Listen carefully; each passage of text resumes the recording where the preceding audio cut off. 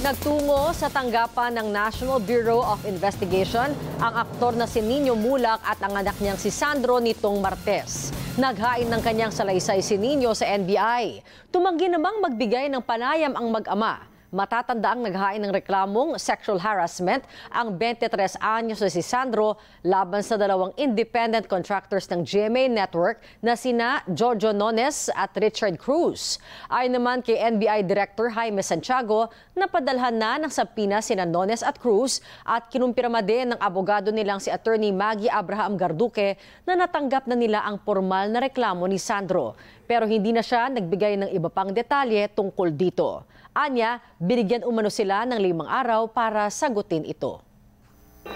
Tuloy-tuloy po ang ating pagpapatrol sa bayan mula lunes hanggang biyernes sa TV Patrol. Alas 6.30 ng gabi hanggang Sabado at Linggo sa TV Patrol Weekend. Sa bago nitong oras, alas 5.30 ng hapon.